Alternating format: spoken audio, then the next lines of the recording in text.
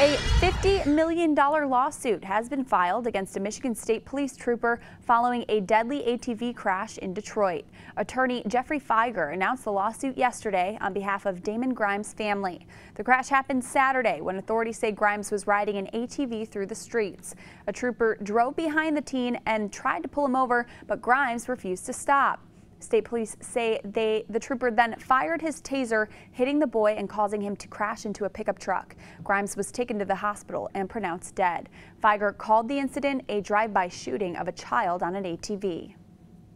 Under no circumstances should any police officer ever, at any time, any place, anywhere, shoot like a cowboy out of his vehicle. He wasn't doing anything. He's, he's driving an ATV. I mean, to describe this as a police chase is, is ridiculous. The Michigan State Police say firing a taser from a moving vehicle is against its policy. The Detroit Police Department is conducting an independent investigation into the incident.